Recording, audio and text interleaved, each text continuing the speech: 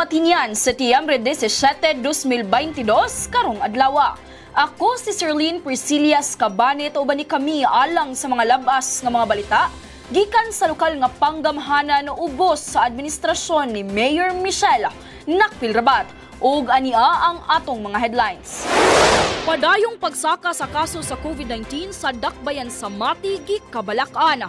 IBPLS alang building permit and certificate of occupancy gilusad na. Sa police report, mag-uumang nananom og marijuana, sikop. Barobo Surigao Fishport ibisita sa Mati LGU officials. Paugnat sa kusog atol sa kapistahan atong lantawon ug sa feature lalo ka gibisita sa MMNR Family Caravan. Kanauguban pa sa pagbalik sa Ang Matiya karon.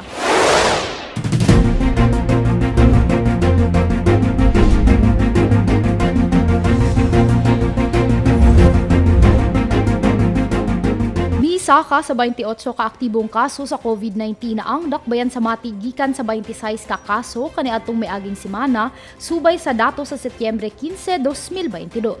Sa Setyembre G sa dunay pito ka natala nga nagpositibo na mao ang sunod.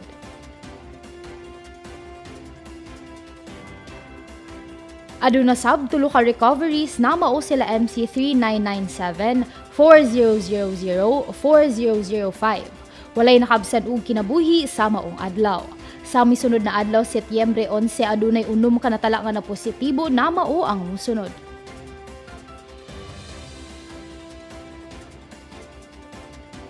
Walay naka-recover ug nakabsan og kinabuhi sa maong adlaw.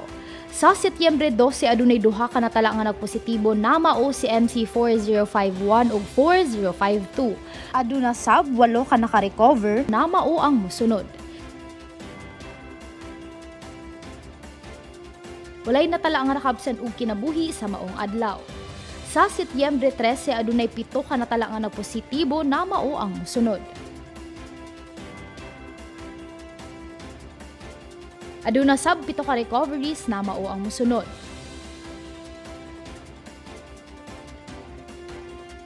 Walay natala nga nakabsan og kinabuhi sa maong adlaw. Sa misunod na adlaw Setyembre 14 adunay usa ka natala nga nagpositibo na mao si MC4060. Aduna sab upat ka naka-recover na mao sila MC4023, 4038, 4045 ug MC4046 walay nakabsan og kinabuhi sa maong adlaw. Sa Setyembre 15 adunay 9 ka natala nga nagpositibo na mao ang musunod. Aduna sab lima ka naka-recover na mao ang musunod. Walay natala nga nakabsan og kinabuhi sa maong adlaw. Suma total mo kabat na sa 4,069 ang nagpositibo sulod sa dakbayan sa Mati. 3,913 sab ni ini naka-recover na ug 128 na ang nakabsan ug kinabuhi. Subay sa dato sa Setyembre 15 anaa sa 28 kaaktibong kaso sa dakbayan sa Mati.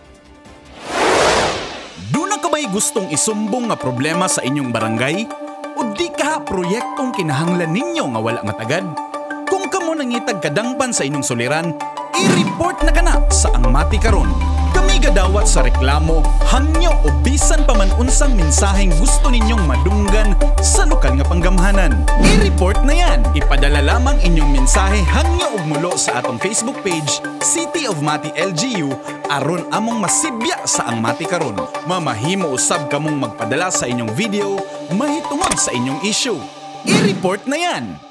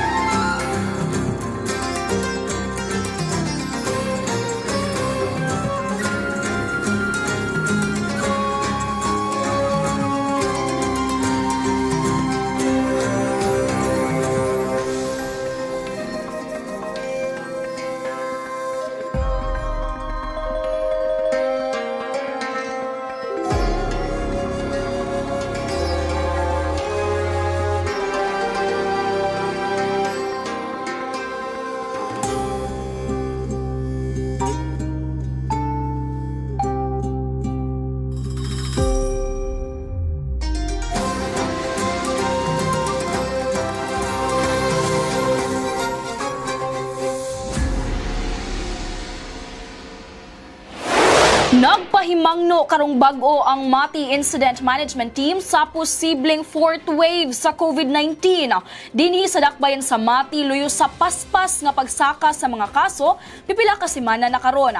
Samtang giklaro sa Mati IMT nga strikto gihapong ginapatuman ang pagsulob og face mask sa mga pampublikong lugar. Si Jasmine Tias sa detalye. Namatikdan ang pagsaka sa mga kaso sa COVID-19 sa dakbayan sa Mati sugod sa bulan sa Agosto, diin gikan sa 3,959 nga kinatibuk ang kumpirmadong kaso ni atong Agosto 5, ni saka kini sa 3,993 sa Agosto 31 kun dugang 34 ka kumpirmadong kaso. Gikan Setyembre 1 hangtod 12 misaka sa 4,052 ang total confirmed cases sa dakbayan kun dugang 59 ka kaso sulod lamang sa halos duha ka semana. Gikan sa bulan sa Agosto na dungagan usab og lima ang namatay sa mga Matinians tungod sa COVID-19. Sumala ni Mati IMT Commander Dr. Ben Hurkat Bagan Jr. ti mailahan kini nga anaa na kita sa fourth wave sa COVID-19 sa dakbayan sa Mati. Apan di sama sa miaging tuig nga paghapak sa Delta variant diin gatusan ang mga natakdan. Sumala ni Dr. Katbagan nga mas gamay ang mga natakdan ug nagrabihan karong panahona gumikan sa taas nga vaccination rate dinhi sa dakbayan. Nahibaw ang miabot na sa 107,386 kon 100.9% sa target ang fully vaccinated sa dakbayan sa Mati subay sa Setyembre 6, 2022 nga datos.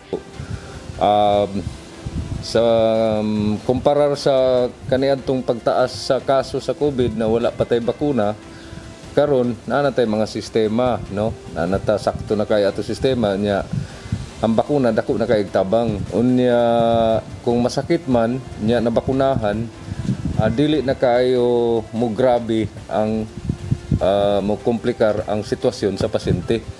Sa kadaghanan karon butang nato karon na natay 20 kapin na kaso ang 19 ana naaras balay no? Kay bakunado. Wala sila ni grabe wala nagkomplikasyon. Kana epekto na sa bakuna Apan giklaro ni Katbagan nga dili angay mo kumpiyansa ang katawhan na hila binanga padayon lamang gihapon ga-mutate ang coronavirus sa mas kuyaw ug mas makatakod nga variant. Busa kinahanglan gayud nga padayon lamang gihapon nga mutuman ang katawhan sa minimum public health standards sama sa pagsulob og face mask sa mga pampublikong lugar. Giklaro ni Katbagan na bisan pa man nagpagawas na ang nasyonal na panggamhanan ug direktibang voluntary na lamang ang pagsulob sa face mask sa mga open spaces, padayon lamang gihapong ipatuman dinhi sa dakbayan ang City Ordinance number no. 427 kon ang disiplina panahon sa pandemya ordinance. Kini matud ni Katbagan aron ka protektahan lamang gihapon ang katawhan gumikan kay nagapadayon lamang gihapon ang hulga sa COVID-19 luyo sa pagluag sa mga restrictions. Uh, para makabalo mo ang pagtakod or transmission sa Omicron virus duha ka klase na. Ang isa droplet infection. Basta through droplet transmission. Pasabot uh, kung ako na ako'y COVID wala ko nagmask unya mo mo ubo ko or mo hatsin ko katong tao na duol kayo sa kuha dako ang tsansa na matakdan nako. Apan kanang kadakon sa virus na droplets daghang klase. Na ay ubang droplets na bugat kayo na pipila lang ka minuto sa ere sa hangin tungod kay naay gravity mubagsak dayon siya mubaba siya. So gamay ra ang chance niya na makatakod sa uban. Na butang nato sa isa ka lugar sama sa palengke na murag semi outdoor no? Kay open air man pero nay atop sa kadaghanon sa tao na naa diha nagdikit-dikit na ipanagtapok unya wala pa gyud ng mask. Dako ang chance na kadtong droplet na gaan kayo na naa sa hangin pwede na palidon sa hangin papun paingon sa isa ka tawo na walay mask so pwede gyapon siya matakdan. Dapat nato masabtan ani is bisag naata sa outdoor although dili kayo dako ang tsansa na matakdan ta pwede paghihapon ta matakdan kung nagtapok-tapok ta ug wala ta nagsulob og mask. Ang pagpabakuna ang pagpasulob og mask is ato ng kontribusyon sa ato ang sosyedad sa ato ang katilingban Nagyunahuna nato na dili di pud sila masakit kung dili ka masakit. Kini si Jasmine Tia para sa Ang Mati Karon. Opisyal ng gilusad ang Integrated Business Permit and Licensing System alang sa Building Permit and Certificate of Occupancy sa sudad sa Matia ni atong Setyembre 12, 2022. Tumong niini nga mapasayo na ang pagkuha og building permit o Certificate of Occupancy sa mga matinyans nga nanginahanglan ni ini. Si Ethel Marie Gastanes sa atong Business Report. Aron nga mamahimong sayon og contactless ang pagkuha og building permit og certificate of occupancy, namugna ang Integrated Business Permit and Licensing System, Building Permit and Certificate of Occupancy kon IBPLS BPCO. Usa kini ka cloud-based platform diin makakuha kag building permit og certificate of occupancy bisan asa ka man gamit ang internet. Opisyal na gilusad ang IBPLS BPCO ni atong Setyembre 12, 2022 sa Executive Hall sulod sa City Hall compound. Gitambungan ang launching ni Executive Assistant Alan Andrada, isip representante ni Mayor Rabat, Vice Mayor Lorenzo Rabat, DICT 11 IBPLS Focal Person Engineer Verhil Fuentes, DICT Region 11 Director Eva May de la Rosa, Provincial DICT Head Engineer Albert Gabriel, DTI Davao Oriental OIC PD Art Hermoso, City Building Official Engineer Zenaida Luon, SFO Trejo Sisito Masanggid sa BFP, mga konsehal ug mga department heads. Ang pagpahiangay ni ini na proyekto subay sa Republic Act No. 11032 kon Ease of Doing Business and Efficient Government Service Delivery Act of 2018. Mahinumduman nga gilusad na usab ang Electronic Payment and Collection System kon EPCS ni adto lang Agosto 18. Kini na mga proyekto gipaningkamutan sa lokal na panggamhanan aron nga mamahimong smart city ang syudad sa Mati. That uh, we are ready and working hard uh, for making Mati a smart city. So one of these uh, very important component is digitalization and connectivity. Mao kini ang mga links na gamiton kung magkuha ka og building permit og certificate of occupancy. I-post usab kini sa City of Mati LGU page aron nga dali ra ma-access sa katawhan. Kung duna kamoy pangutana kabahin ni ini, pwedeng moadto sa City of Mati Building Office sa City Hall Compound o di kaha manawag sa numero nga 0963 550-4505 o mag-email sa Mati City Building Official at gmail.com. Kini si Ethel Marie Gastanes para sa Ang Mati Karon. Dakpan sa mga otoridad ang usa ka mag-uuma sa Sitio Hagdan, Barangay Tagibo, human na sakpan ang iyang plantasyon sa marijuana. Samtang kapulisan sa Mati ng hatag og food packs atol sa kapistahan ni San Nicolas de Tolentino. Si Christine Gracero sa atong police report.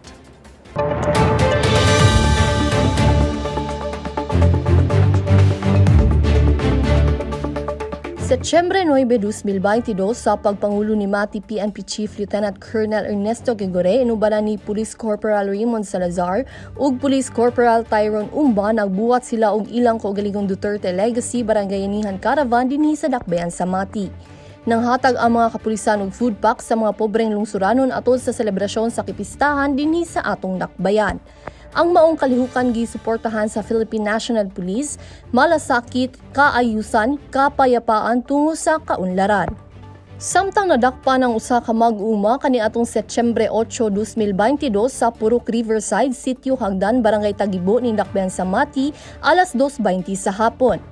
Alas 10.15 sa buntag kani atong Setyembre 8, nakadawat og tawag ang Mati CPS gikan sa 25th IB 10th ID Philippine Army ug nagpahibalo nga aduna sila na diskubre nga tanom sa mga marijuana samtang nagpatrolya sila sa nahisgutang lugar. Gilayong giimbestigahan sa kapulisan ang maong report. Alas 2.20 sa kadlawon may responde ang PNP personnel ug duha ka buntod sa marijuana ang nakatanom palibot sa balay nga gipanag-iyahan ni Conrado Gumahin Luvino, 61 anyos, ulitawo, mag-uuma og residente sa nahisgutang lugar. Ang mga nakupiskang marijuana mutimbang og kapin kun kulang 5 ka gramos ug gibanabana kini nga mo kantidad og 10,000 pesos. Ang suspect anaana sa kustudiya sa kapulisan ug kasuhan kini sa kasong paglapas sa RA 9165 kon Comprehensive Dangerous Drugs Act of 2002. Kini si Christine Garcero para sa Ang Mati Karon. Sa among pagbalik, Mati LGU officials may bisita sa Fishport sa Surigao. Mga kampyon sa dulang volleyball, basketball ug taekwondo atong sutaon. MMNR Family Caravan mihatag og serbisyo sa Laluka. Kana sa pagbalik sa Ang Mati karon. Bako, bako. Hoy, sete mo lawas, bako, bako. Oh, naunsa naman pud ka? Kinsa na pud nag-away nimo? Kanang mga bata sa kanto. Sige kong kantsawan, nabako daw ko ma. Bako bago di ay ka, ka-straight ana imong lawas. Mura gani kag nakorintihan sa ka-straight ana imong lawas. Utro pud ka ma ba? Pero bitaw nak, ayaw na lang na sila patuli kay di man tinuod ng ilang ipanulti. Palayo lang sa ilaha, okay? Okay ma. Tama di ay nak. Nagsugod nagpamakuna ang City Health sa mga bata edad 12 hangtod 17 kontra COVID-19. Basin ganahan ka magpabakuna. Ikaw na lang baya walay bakuna diri. Sige ma, magpabakuna ko. Para lawas natatanan din sa atong balay. Bako de Jesus, ikaw na sunod bakunahan. Bakunahan na ta ka ha, relax lang. Okay na dong, isog man kayo ka, wa gyud mahadlok. Salamat ma'am. Ramil Sante, ikaw na sunod. Dali na! Pagpabakuna na ba? Katalawan ba aning bataa? Paisog-isog sa bang bata pero talawan di magpabakuna? Lingko diha! Hindi lang ko magpabakuna, mabi, ma. Ma. Hoy! Balik din ni Ramil! Diyos ko ning bataan ni. Malipayon lagi ka nak. Kadto gani bata midagan pagawas ganina ma. Maugod tong sigig pangaway nako. Mauba? Talawan man lagi to. Lagi ma, pagtuog yun bitaw na kog isog to siya. Maayon na lang na kay bakunado na tanan sa balay para makalikay na ta sa COVID-19. Kung ikaw edad 12 hangtod 17, pagpabakuna na sa pinakaduol nga vaccination site sa inyong barangay.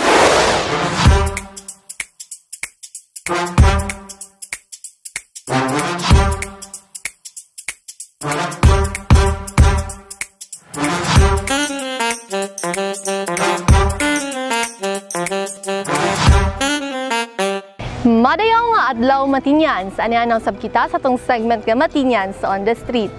Dili kalimod nga ubay-ubay na pud ang nagpabakuna ug nagpa-booster dili lang dinhi sa atong dakbayan apan sa tibuok nasod. Sa sobra duha ka tuig na atong pakigbisog sa COVID-19, nagpagawas og mando si President Bongbong Marcos na dili na mandatory ang pagsulubog face mask sa pampublikong lugar. Busa alang sa atong pangutana karong semanaha, uyon baka sa mando ni President Bongbong Marcos na dili na mandatory ang pagsulubog face mask sa open spaces kung fully vaccinated na? Tarao ba ni kami ug atong dunggo ang tubag sa Matinyans? Sir, uyon ba ka sa mando ni President Bongbong Marcos na dili na mandatory ang pagsulubog face mask sa open spaces kung fully vaccinated na? Ah, oo, kanang face mask, makaayo man gihapon na sa ato ah, labi na sa atong natay kuan sa ilong, natay diri sa sore throat na makahatag hinunig kuan dipinsa. Oo, yun ko ana. Bisbintaha man jud ang may mas ma'am kay kung mga abog importante man gud na kontra sa way mas. Ah, for me okay ko nga dili na siya mag ano ma pwede na dili magmask kung open space. Sa ko, ah, depende siya sa sitwasyon kung nakay ginabati. So, face mask karon, di po ka makatakot sa uban. So, kung wala, then, pwede na dili. Siguro kay, siguro, sagaban po siguro po ng face mask sa uban. Sa open spaces, okay ra. Ah, uyun ko na. Pero kanang sa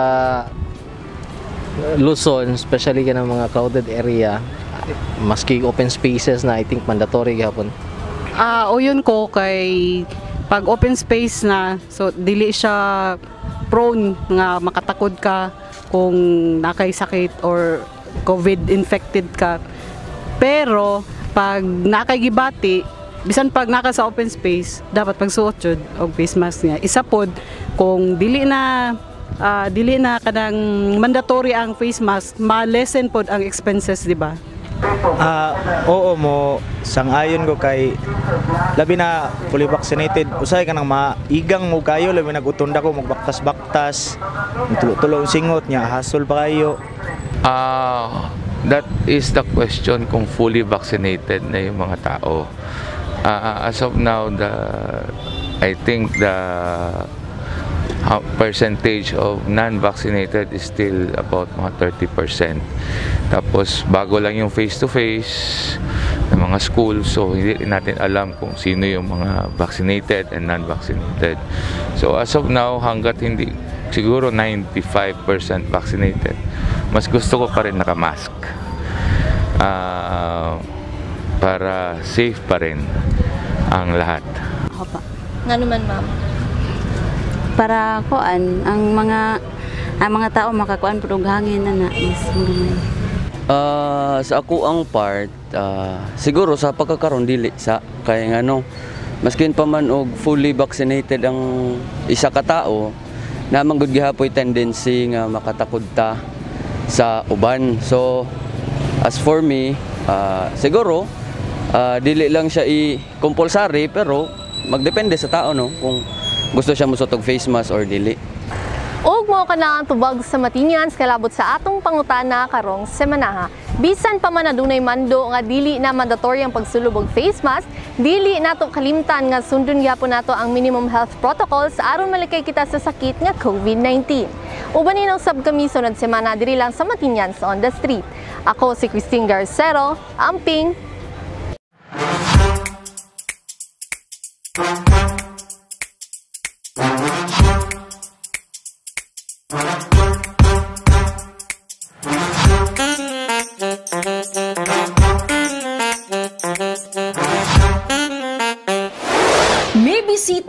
opisyal sa Mati City Planning, City Agriculture ug ang City Engineering didto sa Fishport sa Barobos, Surigao del Sur aron masuta kung unsang sistema o katikaran ang ginapahamtang sa Fishport didto na mahimo usab maimplementar dinhi sa atong kaugalingong Fishport. Si Jasmine Tias sa report. Nagpahigayon og benchmarking ang buhatan sa city planning kauban sa City Agriculture ug Engineering Office kaniadtong Setyembre 1 hangtod 3, 2022 didto sa Marobo, Surigao del Sur. Tumong sa maong benchmarking ang pagpangita og mga suhestyon para sa gisugdan na fishport dinhi sa Dagpayan sa Mati. Usasab karason ang para mangita og tabang kabahin sa pagpadagan sa fishport. Gipartisipahan sa nagkadaiyang representante sa buhatan sa City Agriculture, City Planning ug Engineering ang benchmarking nagipangunahan ni kanhing konsehal Eric Rabat na mao karon ang consultant sa Food Sufficiency Program ug mao ang nanguna kaniadto sa pagpatukod sa Mate Fishport isip Committee Chairperson sa Agriculture. Pinaagi sa courtesy call, giistoryahan ang mga suhestyon na pwede i-implementar dinhi sa Dakbayan pag nagsugod na ang operasyon sa Fishport.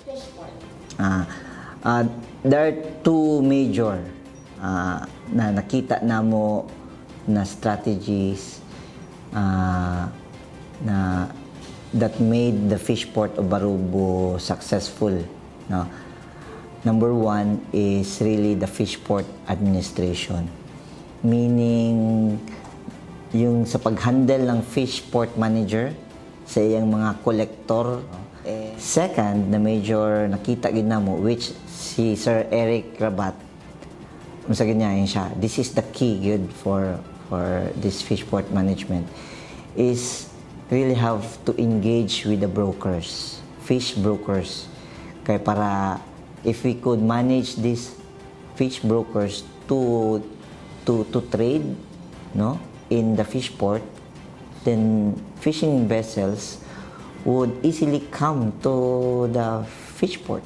So security matters in the fish port administration. So dapat like butangan daw nato mga CCTV uh, klaro gid ang monitoring of all these uh, fish port operations Matud pa ni Eric Rabat, posibleng magsugod na ang operasyon sa Fishport karong umaabot na bulan sa Oktubre. Dako ang paglaom sa lokal na panggamahanan na magmalampuson ang operasyon sa Fishport tungod dako kini og kabag-uhan sa ekonomiya sa Dakbayan, ilabi na og makahatag kini og panginabuhian sa kadaghanan sa mga Matinyans. Kini si Jasmine Pia para sa Ang Mati Karon. Team Govcora ug Team Dorso Stingrays ang mga nahimong kampyon sa Mati Amateur Volleyball Association na Parochial Fiesta Volleyball Tournament nga gipahigayon ni atong kapistahan ni San Nicolas de Tolentino. Samtang nagpadayon ang mga dula sa managlahing hugna sa Mati Basketball League karong semana. Og mananaog ang Mati Eagle Warriors Taekwondo team sa national level sa miaging semana. Si Josh Jalgis sa atong Sports Balita. Nagkampiyon ng Team Govcora kontra Team Elmer's Angels alang sa women's category ug Team Dorso Stingrays kontra Team Titas 1 alang sa men's category sa gipahigayon nga Mati Amateur Volleyball Association o MAVA Parochial Fiesta Volleyball Tournament didto sa City Hall Ground ni adtong Setyembre 9, 2022. Ang ikatulong pwesto nakuha sa Team MAVA Junior sa women ug Team MAVA Senior sa men. Giproklamar nga most valuable player si Christine Garcero sa women ug si Gabriel Alderete sa men. Samtang sa Mati Basketball League Women Division, daog ang teams UDM T-Rex, Lady Ballers, Grinders, Defense ug The Big R sa mga dula nga gipahigayon didto sa City Hall Court ni adtong Setyembre 9 hangtod 11, 2022. Players of the game ni ini sila Aubrey K. Panya, Cloud Gonzalez, Yesa Salientes, Sheila Liaz, Krisa Morales, Hanessa Tambuco ug Sofia Amparo. Unang-una sa tanan, dako kayo kong pasalamat sa atong mayor na si Ma'am Michelle Rabat ug uban sa atong City Sports Director na si Sir Paulo Rabat. Nagihatagan niya og oportunidad ang tanang kababaihan nga players diri sa syudad sa Mati. Kasi when we say basketball, para sa mga kalalakihan eh. This time, babae naman. And we are also hoping na magmalampusan ng mga programa sa sugod, hantod sa katapusan o giawhawg na mo ang tanan players sa Women's Basketball League na ipakita nato ang sportsmanship. Sa MBL Inter Barangay Central, mao kini ang resulta sa mga dula nga gipahigayon karong semana.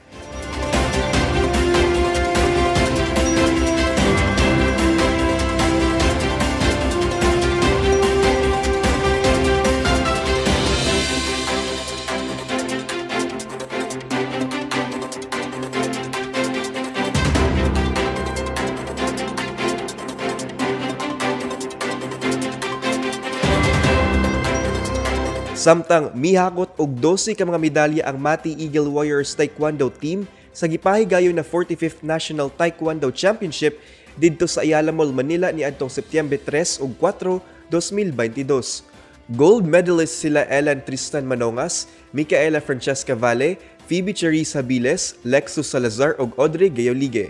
Silver medalist sila Carla Marith Josh Porlares ug Maria Isabel Orquia.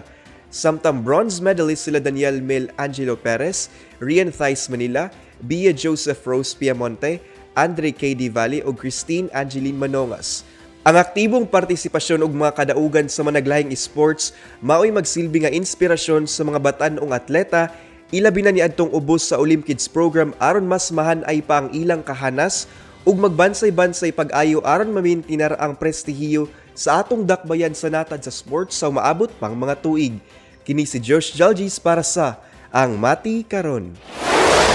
Sa ikatulong higayon, ang Maternal Mental and Nutrition Recovery Program o MMNR Family Caravan ni bisita na usab sa usa ka barangay dinhi sa Dakbayan sa Mati, bitbit ang mga serbisyo sa lokal nga panggamhanan didto mismo sa katawhan sa barangay. Ania ang report ni Beryl Mayderio. Mibisita ang Maternal Mental and Nutrition Recovery Program o MMNR Family Caravan sa Barangay Langka atong Setyembre 13, 2022 aron maghatag og managlahing serbisyo alang sa katawhan sama sa healthcare, nutricare ug trabaho care. Kini mao ang ikatulong hugna sa MMNR Family Caravan na naunang mibisita sa Barangay Makambol ug Tagibo. Sakop sa ikatulong barangay nagihatagan og mga serbisyo ang Barangay Luban ug Kabuaya na apil sa mga geographically isolated areas ug naay mga taas na kaso sa mga batang naay panginahanglan sa nutrisyon. Ang maong kalihukan nga naay temang Saving Lives and Livelihoods naghatag og mga serbisyong panlawas sama sa res bakuna, PhilHealth Consulta Package, City Epidemic Surveillance, Mobile X-ray, Emergency Medical Services, Dental Services, konsulta para sa mga outpatients, laboratorio ug butika, samtang gipangunahan sa Public Employment Service Office, Department of Labor and Employment, Local City Registrar, Office of the Senior Citizen Affairs, City Agriculture Office, City Social and Welfare Development, City Legal Office, Persons with Disabilities Affairs Office, City Veterinary Office o Greencom ang serbisyong panarbaho, panrehistro o pang-agrikultura. Gidungag sab ang mga serbisyo sa Social Security System, Technical Education and Skills Development Authority o Department of Education. Gipaklaro ni City Nutrition Consultant Ivy Solibio na walo ka mga barangay ang ilang planong bisitahon bag-o mahuman ang tuig. Actually, we are targeting the 26 barangays na ma-reach sa MMNR. It is because tanan barangays na adjay undernourished na mga children. So, as to the as to this year 2022 naapatay mga 8 barangays na i-cover and I believe um, with the leadership of Mayor Michelle Nakpil Rabat, dili siya mag-stop na dili malibot ang 26 and dili ma-normal more than 50% of our undernourished children. Iyaha sab gidungag nga naay mga follow-up monitoring sa mga barangays na naadtuan na sa programa. Dako ang pasalamat sa tulo ka barangay nga nakadawat og mga serbisyo kay dili na sila kinahanglan mo gasto sa pamasahe pag-adto sa mga ahensya sa gobyerno kay ang tumong sa maong programa mao ang ipaduol ang serbisyo sa gobyerno sa katawhan. Nitambong sab si Konsihal Tara Argaita, kanhing Vice Mayor Glenda Argaita ug si City Mayor's Food Sufficiency Consultant Eric Rabat ingon man ang kapulisan. Kini si Beryl De Erio alang sa Ang Mati karon.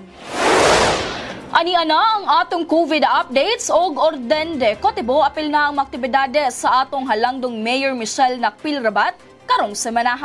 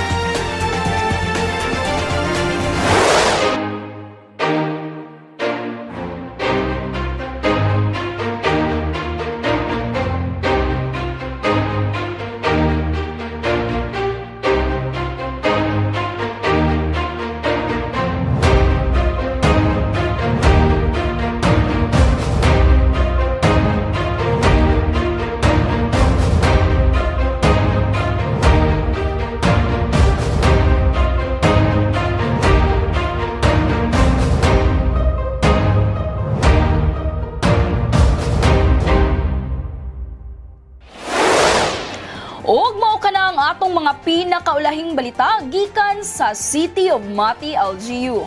Ako si Serlene Priscilla Cabanit o ni kami sunod semana matag Sabado diri lang sa Ang Mati. Karon, hinumduman tamayo matinyan sa na pagsulay awon gayud paglaom kun kita magatinabangay.